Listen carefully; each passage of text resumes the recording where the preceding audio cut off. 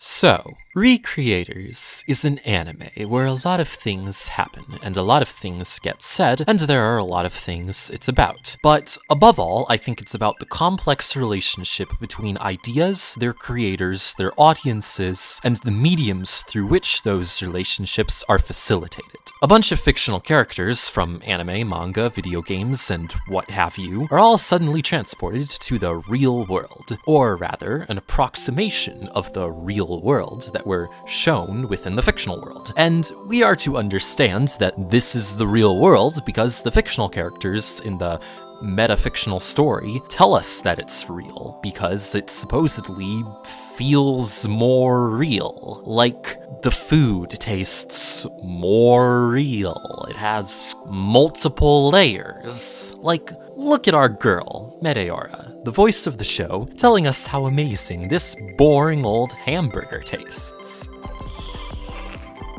ごめんなさいこの世界の食べ物は味が重曹でとても美味情報量が多いせいだと思う But that's not really true, is it? Meteora goes on about how much more information there is in the real world, and how the information feeds to her in Selesia's worlds, and so on and so forth. But all of that information isn't actually in the text of Recreators. It's only implied. That exciting, fresh, subversive hamburger that Meteora gets to eat, it's only defined as more tasty. It is only a more tasty burger because Meteora says it is so within the medium of her new presence in the fictional real world of the fictional anime.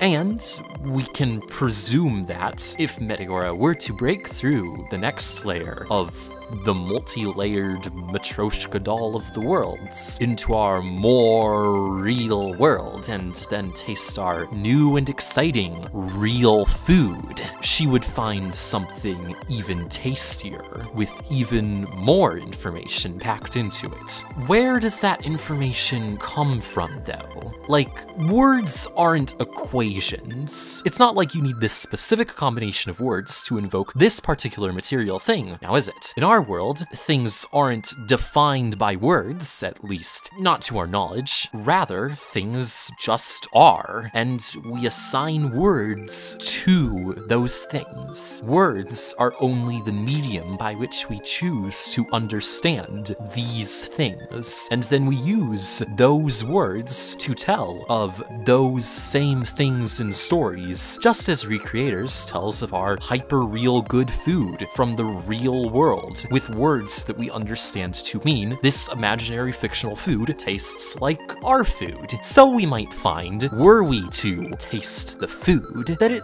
would taste like our food, right? Because we would believe that it does and accept it as such. Meteora and the other characters aren't less people when they enter the real world, they're just people, at least within the show's universe, with personalities and real bodies and independent thought and ideas, rather than a script that they follow. Like, take this scene here, where Selesia and the author of her story, Matsubara, argue, and Meteora says that this argument can only take place because Matsubara created a, quote, highly detailed description of Selesia's worldview. So, the information about Selesia, what Meteora so matter-of-factly speaks of as if it's a concrete, clear phenomena, made Selesia act like this, like a real person.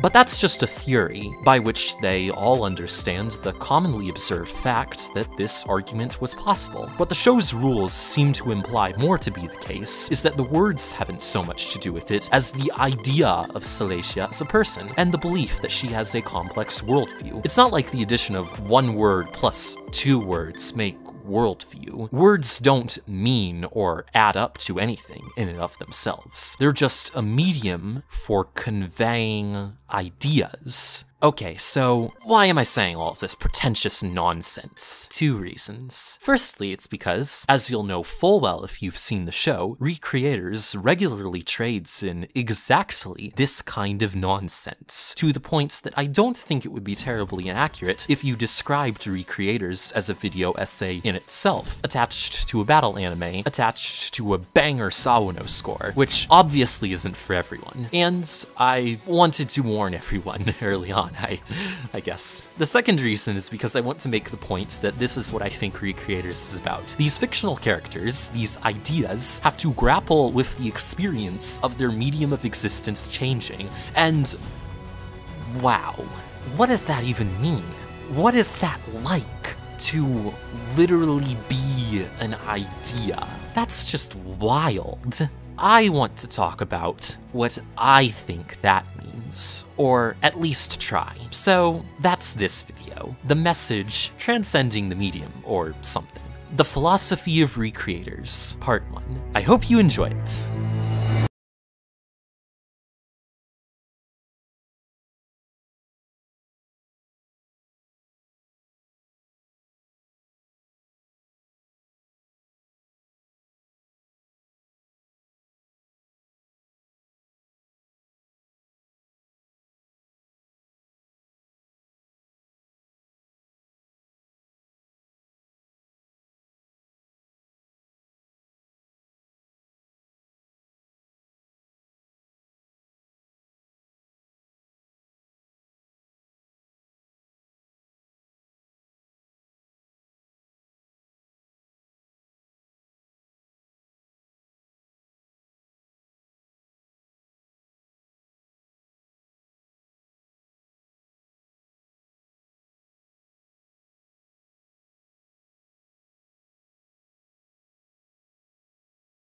As you can probably guess, when most of these characters, the creations, enter the real world, their first thought is to find the authors responsible for penning their stories, the creators, which doesn't appear to be an especially challenging or difficult task. Once it's accomplished, their goal is, depending on their overall reaction to the revelation that they're fictional, to say hello, rough them up, ask some questions, speak their mind, whatever. In these interactions, we see the first interesting concept the show has on offer an artist and their art, or rather, their art delivered to them through the medium of a real, actual human being engaged in dialogue. One of the first major ideas that the show establishes is the notion that this relationship between a creator and their creation is tantamount to that of a parent and their child. And yeah, I've written fiction. I've made OCs. This seems pretty intuitive, doesn't it? Speaking from experience, not to mention just the way artists often talk about their work if you go read interviews or whatever. It's a pretty common habit of writers and artists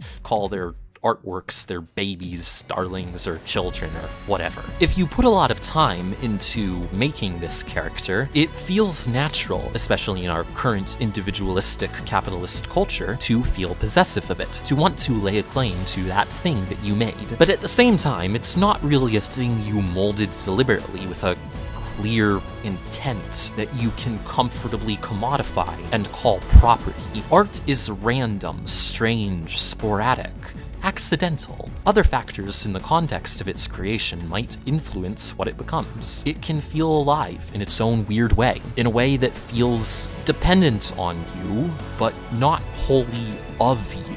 So, you being a parents of the child feels like a natural mill ground, I suppose. There might be other artists working with you on it, and maybe you'd say that you all raised this child together, I guess, if you really want to commit to the analogy, which Recreators definitely does a lot. Going back to the arguments between Selesia and Matsubara that I mentioned earlier,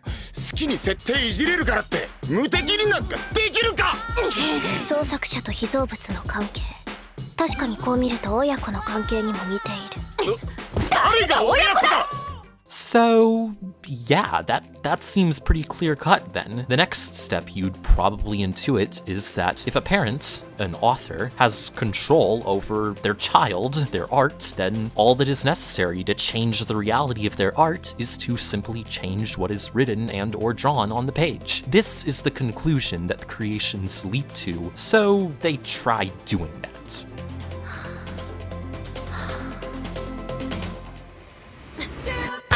アジャラカ木蓮旧来さ It does not work. So, it turns out that this relationship is a bit more complicated than we might believe at first blush. In short order, it is revealed to us that the reason this effort to amend Selesia's power set did not work is because the viewing public did not witness and accept the changes. In other words, the writer and artist, in this case Matsubara and Marine, do not have unilateral and instant control over every aspect of Selesia's true self. Instead, the matter of what is true about Selesia falls onto the fandom. Later on, Matsubara publicizes the idea of Selesia's flaming sword, and the desired revision becomes reality. So, that makes sense, right? It's not as if a real parent is the sole proprietor of their child. You know, when they turn their child out into the world, that child will grow and change and whatever. They can tell their child to behave a certain way, or tell others how to treat their child, and hope that their preferences will be accepted, but if it's decided that what they want is not the best thing for their child, then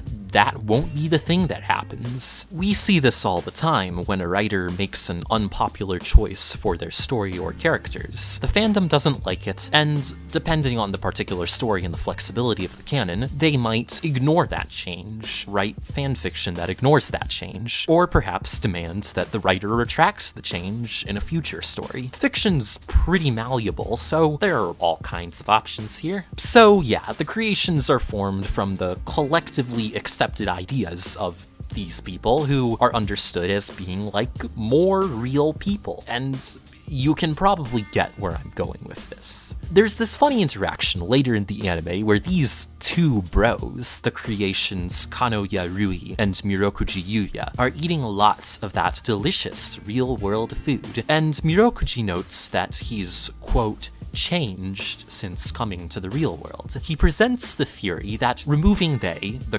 characters, from their original context has, in the absence of their original lineally defined plot objective, caused hidden parts of their character descriptions to come into play. Basically, that this new predicament has set off some character development. On one level, yeah, that's what it is. A scientific explanation for why these fictional characters are changing like real people would. That might seem a bit silly, like the anime is telling us, look, the characters, they are a changin', and isn't that obvious? Real people change, so so should characters and stories. Yes, that's exactly right. Characters and stories change, just as real people would, because a character in a story is the idea of a real person, and in the real world, a real person is also the idea of a person, expressed within the medium of a human body. In short, as the idea of a real person leaves the medium of a novel, or a comic book, or scripted show or video game to inhabit the medium of reality, then there isn't a distinction is there?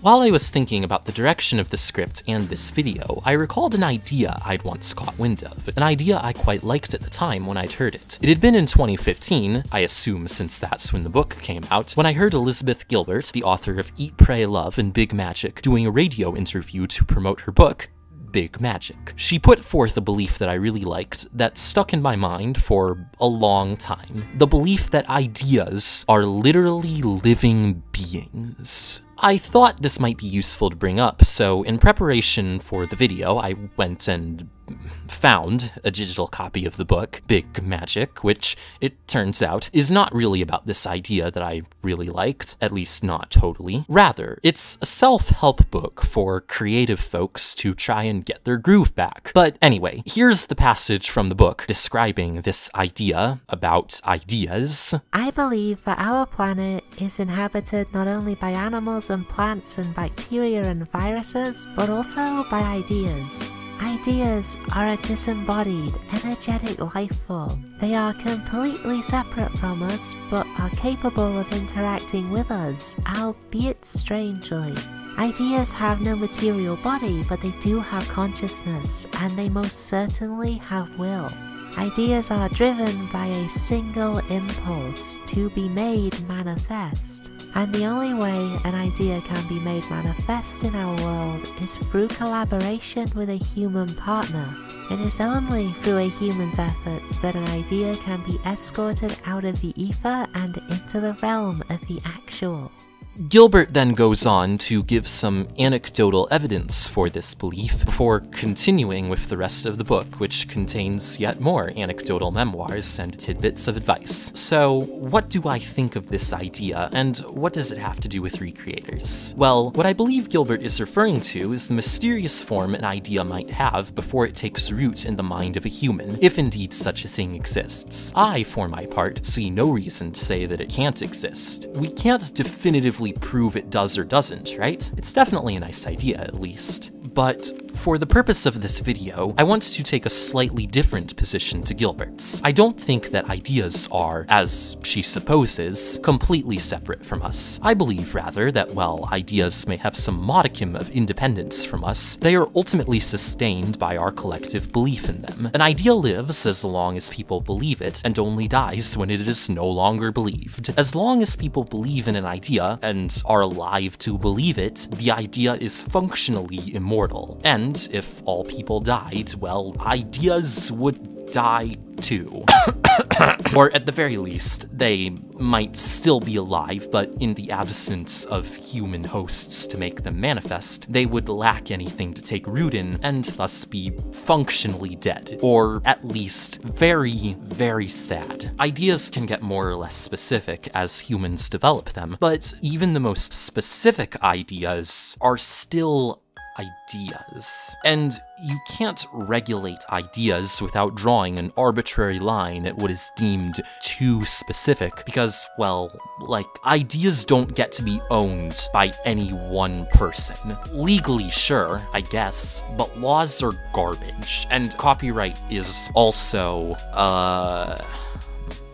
Allow me to direct your attention back to this kick-ass anime about the philosophy of ideas for a moment. Early on in the anime, Meteora seeks out her creator, specifically the creative director behind the video game from which she originated, Evalken of Reminisce. She wants to ask them some questions about her and her world, to determine if they really cared for her and her world. But when she visits the game studio to meet them, she is confronted with a literal death of the author. Left with no other option, Meteora buys a copy of the game and stays up all night in search of her answer. The next morning, she returns and says, gladly, that she found the game fun. She is thankful that the game exists, that she exists, thanks to her creator, that they cared so for the world she knew. And most pertinently, she is thankful that 私は多くの複製されたアバルケンの中で永劫の輪廻を繰り返す。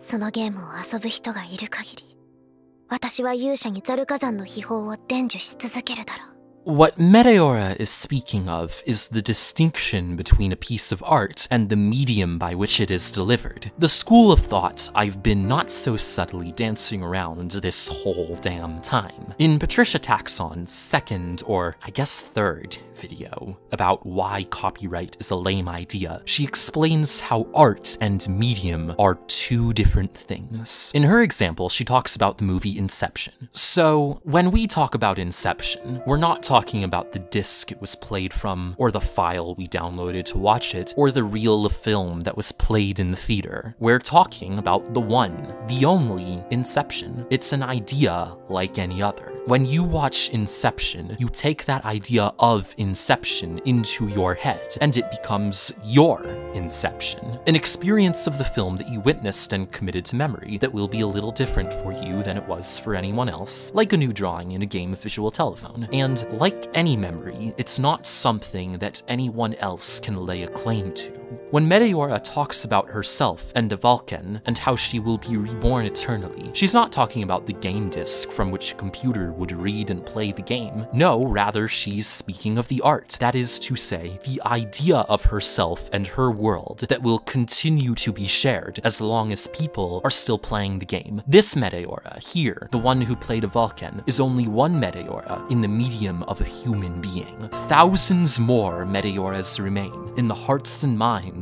of all those who played Vulcan. and neither Meteora nor her past creator could ever lay any claim to those Meteoras, neither practically nor by rights. And every new Meteora that is born, every new copy of a Vulcan created in the minds of those who play it, is itself a new piece of art. For you see, the value of art lies in its creation, where the value of the medium exists only after completion and distribution, but when the medium has no value, neither does the art. All the value has been brought back to the creation process. So, why do we as a society pretend this art is a commodity? It's strange we're so far past the age wherein we traded these effigies. Just see, if you think carefully, you've already decided to come with me. Artist 2, only one is sold, the other stews and flies out free. I held my hand right through the door so the value won't be misplaced anymore, that you realize the art and the medium are torn, a world of ideas is about to be born. It's fact, your rate of stats fall flat in the new world order of fan art and mashups. In the end, we're just stealing it back. We all know sky's the limit, so let's get stressed. Straight to the moon and back. I heard Blackberry has an app for that. It's jazz. Let's all write fan fiction. You win, hey, let's do So let's get stressed. Straight to the moon and back. The world is built on a DJ's track. It's jazz. Let's all get lost in its shit. You win, hey, that's terrific. So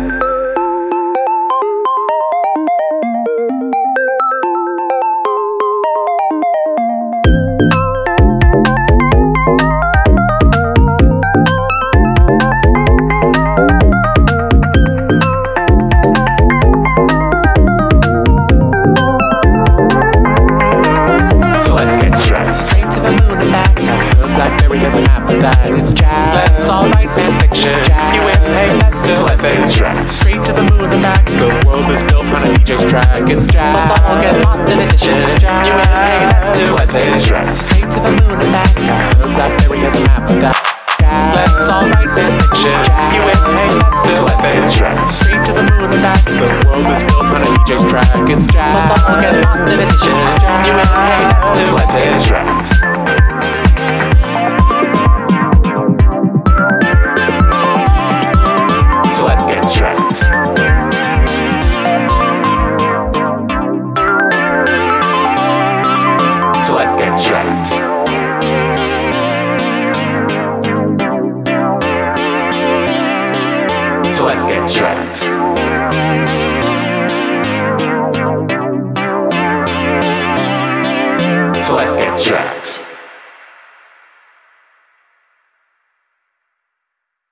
Okay, so you're probably wondering what I have to say about this person. And don't you worry, darling, I'll get to her. But first, I want to ask another basic bitch question about the relationship between a creator and their creation. Why did they bother creating these things anyway? In Recreators, this question is left not to the artists, but to their art. Meteora's decision to play her game is in service of answering that question. As she explains, she doesn't want to think her world is an empty one, without meaning and care put into it. In the absence of her creator, that's something she must decide for herself. It's a decision most of us have to make whenever we observe a piece of art, because although the creator may not be dead, as Meteoris is, we will likely not be able to ask the creator ourselves, as Meteora would have done had they not died. For us, making that call has little at stake, beyond a judgment of the art's quality and our enjoyment of it, and perhaps the decision to make a video essay speculating about what feelings might have gone into it based on whatever feelings we took out. Hello there, hun. But for Meteora, what she is seeking in making this judgment is a personal affirmation that she was loved, and she goes about this just the way you'd expect a level-headed librarian mage to do.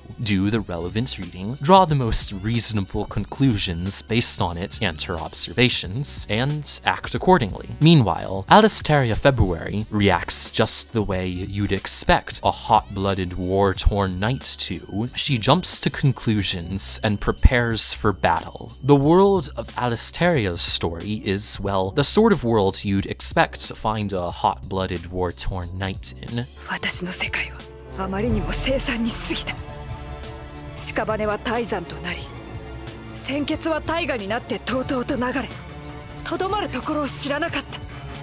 So, naturally, Alicetaria is none too happy when she discovers that her world is, in this world, regarded as only a fiction created for entertainment. She immediately assumes that anyone who would create such a terrible, death ridden world must naturally be a reprehensible person, deserving of shame and punishment, and that the right thing to do is demand that they repent for their sins. Okay, well, yeah, I know. I once wrote a similar story where a similar thing happened, except instead of a creation visiting the real world, a reader visited a fictional world and told the protagonist of the story that it was a story. And the protagonist was, reasonably, pissed to hear that people found their plight fun. I was a very bad writer, which was kind of a given since I was like 14, and so that plot never ended up leading into anything or going anywhere at all, because I didn't yet understand the concept of character arcs. Hiroe Rei is a very good writer, however, who definitely understands the concept of character arcs to enough of a degree that he could clearly write a story where the concept of character arcs is a plot device, and make that actually really good. Like, this show is actually really good. Woo woo.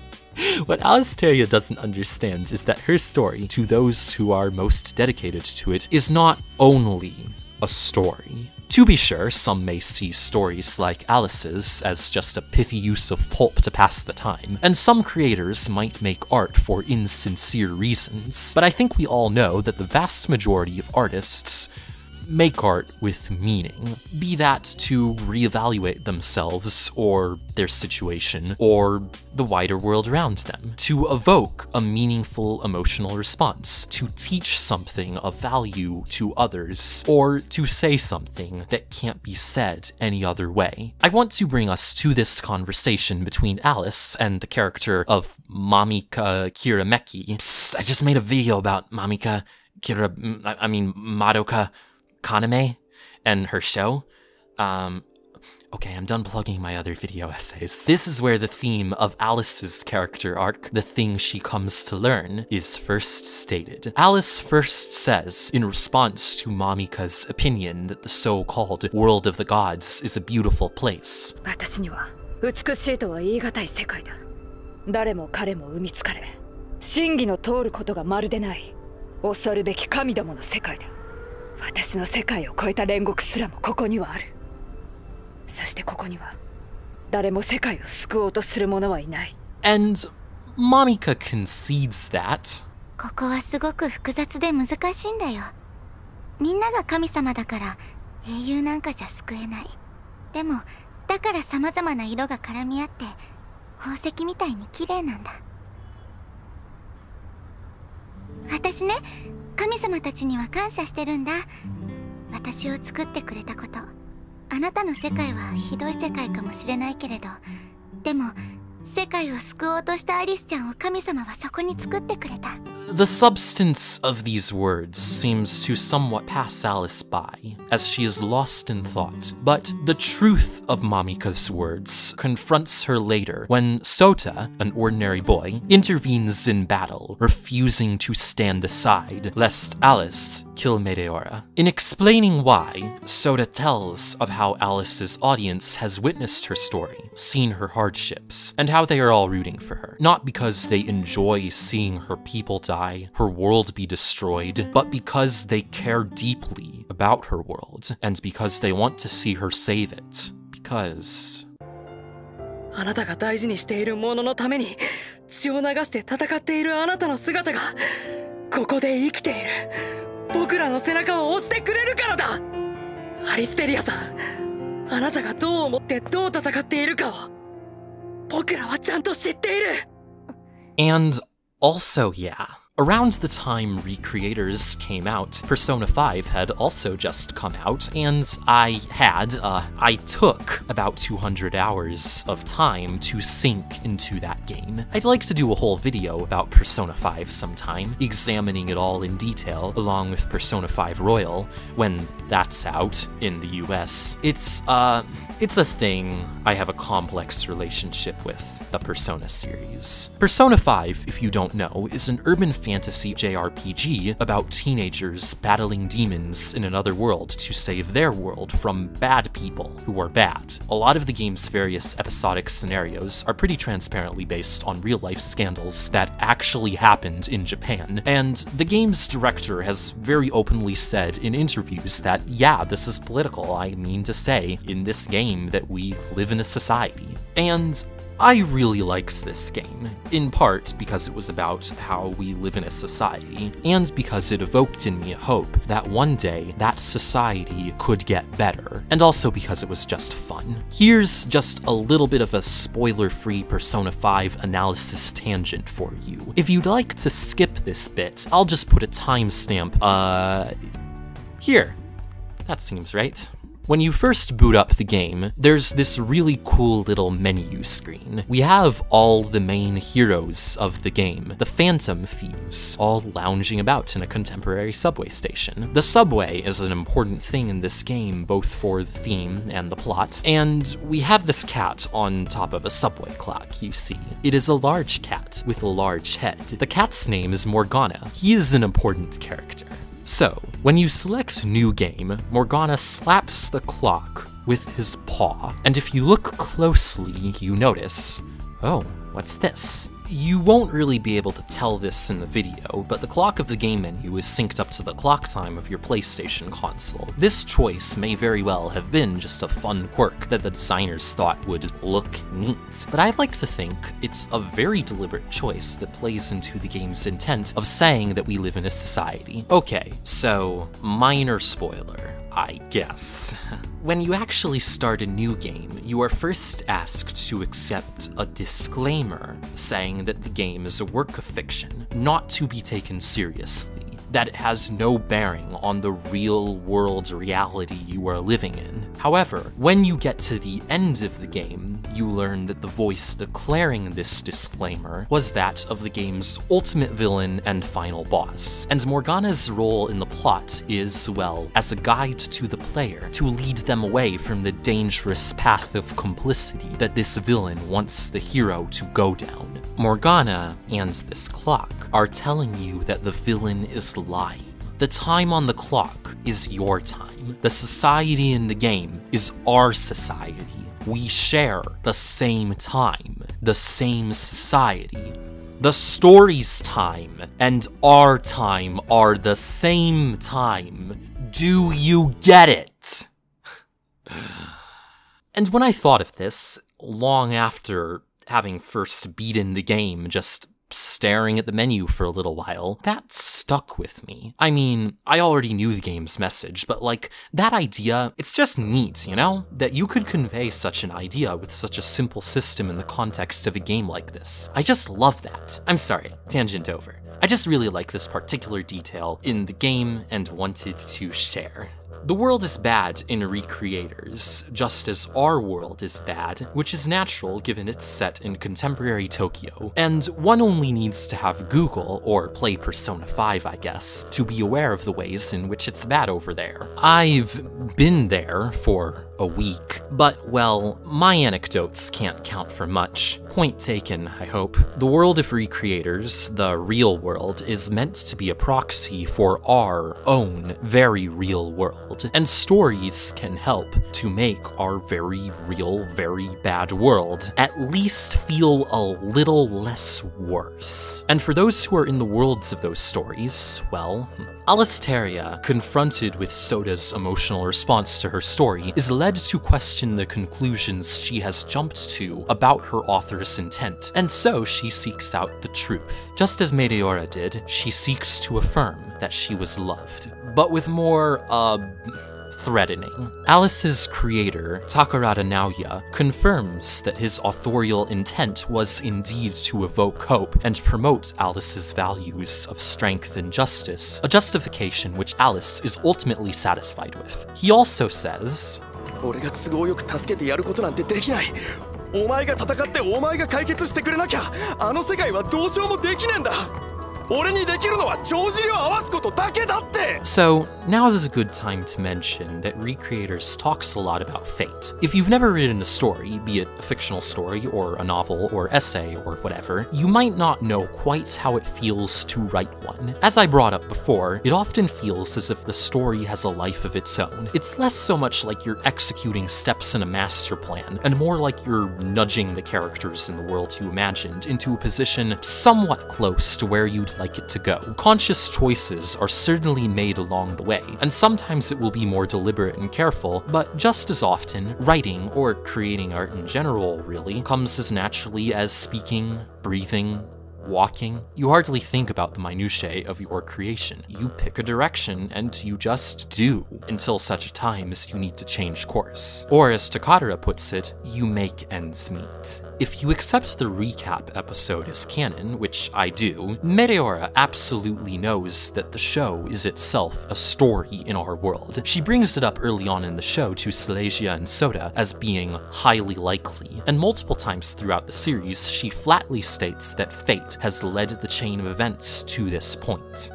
私たちは導きによりここに集まったそれはやはり運命この寝台の世界を凌駕する 無窮の深淵がもたらした運命 For the creators, it is natural, intuitive, that to create a genuine world, it must lead a genuine path. And for the creations who live within those worlds, they come to realize that their story world cannot be so easily changed as they may initially want to imagine.